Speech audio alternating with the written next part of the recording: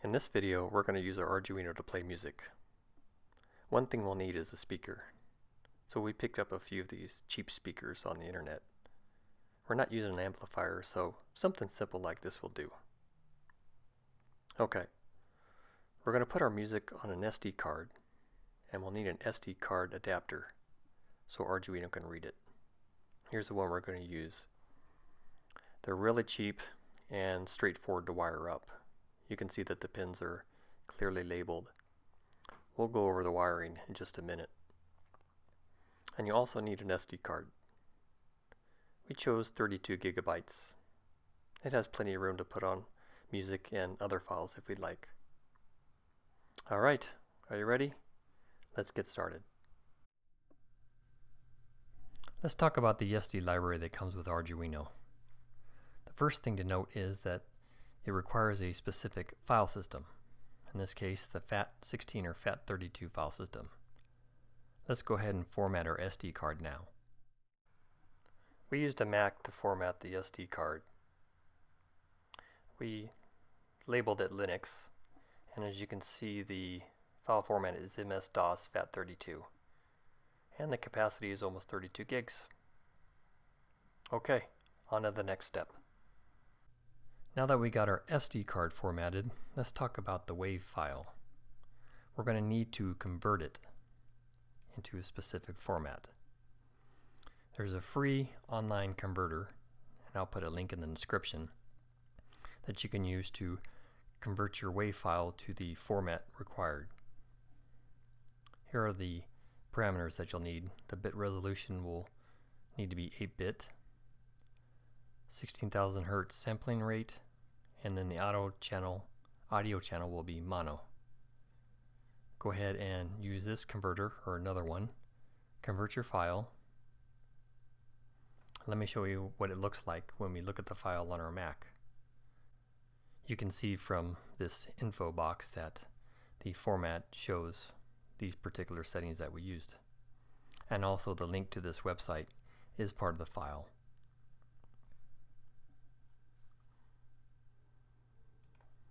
Okay, let's go back to the SD library. When you wire up your SD card, there are specific ports that you must use. As it mentions here, the SD card use, uses SPI, another library that we're going to link, link with in um, Arduino IDE when we write our code. SPI uses these digital pins 11, 12, and 13 on most Arduino boards. That's what we're using our on our Arduino Uno. And just as important is the hardware select pin. So if we take a look at the SD card pins here, you can see that there's power ground, these pins for SPI, and then a hardware select pin. This is going to be pin 10 on most Arduino boards and on our board it is pin 10 as well. So let's take a closer look at these SPI pins.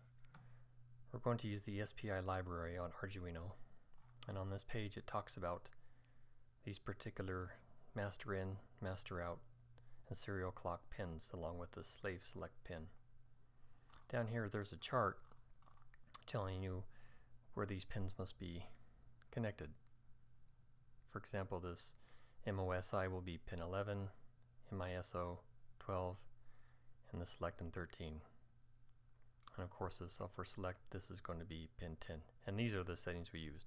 So if you have a different Arduino, you'll need to look up where they need to go in this chart here. Alright, now to the next step. We're going to use a third-party library to play our audio files. It's on GitHub. I'll put a link in the description. It's called TMR-PCM. The homepage here contains a lot of information about its capabilities. We're just going to scratch the surface of what it can do with our program today. On this page are installation instructions and the code itself. So let's go jump over to Arduino IDE and get coding. Alright, let's write some code.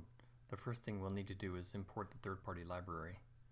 One way you could do that is if you downloaded that zip files, go to Sketch, include library, add zip library and you would point to that zip file that you downloaded from GitHub. I'll go ahead and show you that we have this library installed. One way to check that is to go to Tools Manage Library. You can type in the name, which would be tmr tmr. There we go. This is the library, the third-party library that was installed. Okay, once you got that done, you can go ahead and start writing some code. First thing we'll do is we'll include some files here. TSD header.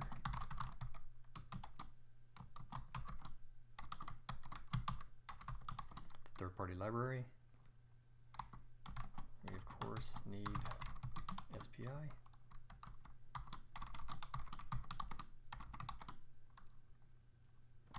And just to add a little spice to this program, we're going to use an LCD. And we have a complete tutorial, or several tutorials that we use as where we're using SCD, LCD, excuse me. So we'll go ahead and import this library. You need more information about using this liquid crystal library, we'll put a link in the description. We're going to use this LCD to print out the name of the WAV file that's playing. So to use this third-party library, we need to define where the um, select pin is for the SD card. And there's a variable called SD underscore chip select pin. And of course, we're using pin number 10. And to use the LCD, you must initialize it the with the constructor. I'll go ahead and paste this here. And to use this third-party library, we'll go ahead and declare a variable. I'll call it audio. And in the setup,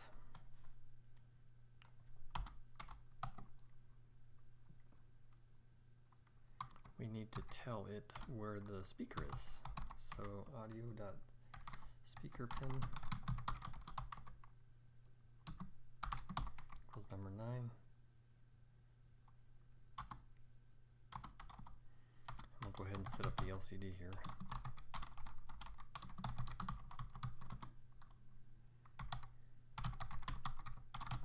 This is just to initialize it. 16 by 2. Clear it.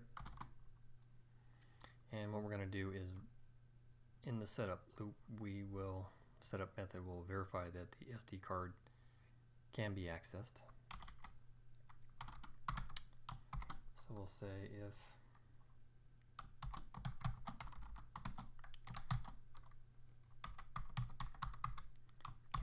the SD card,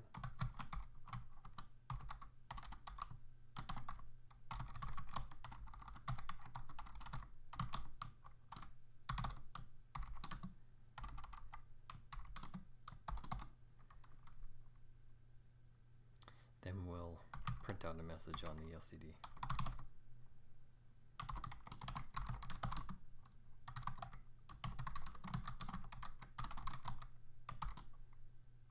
And this can happen if the SD card wasn't formatted right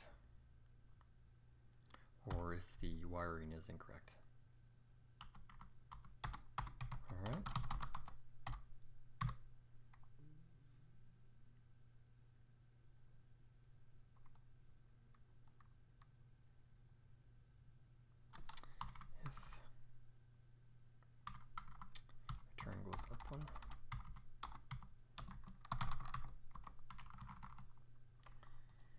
Alright. let's go ahead and set the volume.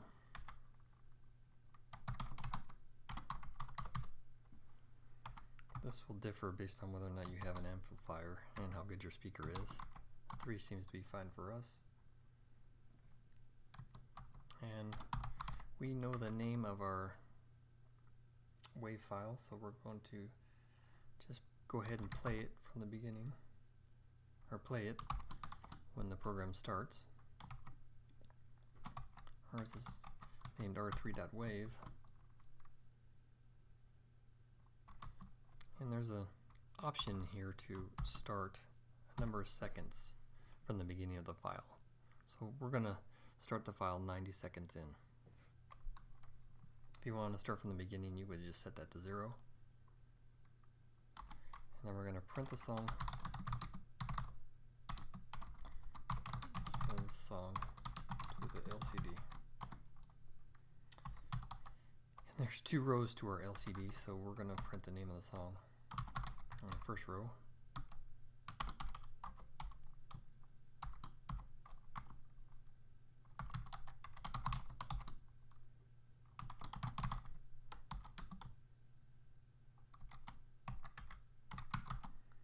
We're just going to hard code these for now.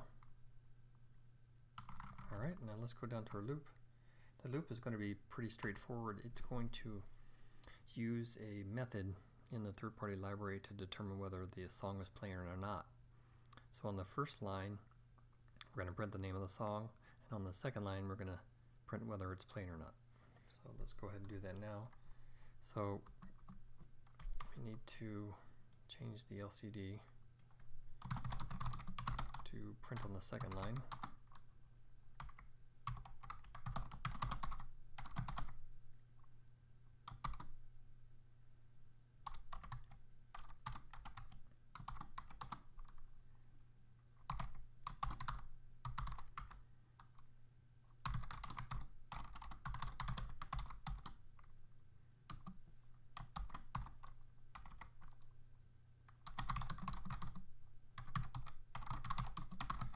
second row, say LCD to print,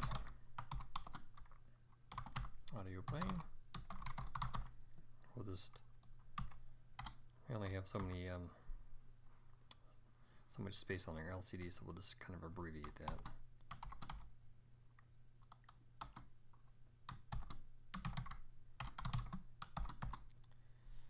Else audio is not playing.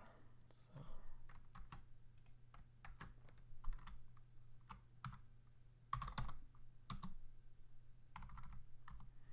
And we'll just delay three seconds. Let's go ahead and compile this.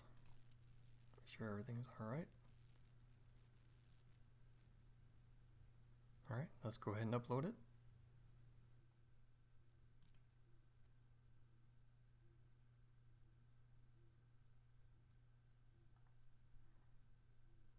Alright, it uploaded. Let's go ahead and take a listen.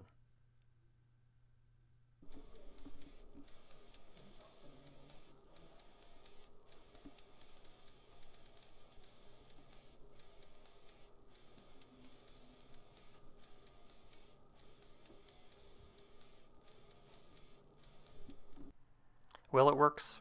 That was a fun project. Although the music is a little hard to hear. This could definitely use an amplifier, and we'll save that for the next project. That's all we have for this one. If you have any comments, please leave them below. And if you haven't already, check us out at our website, h3technology.dev. Thanks for watching.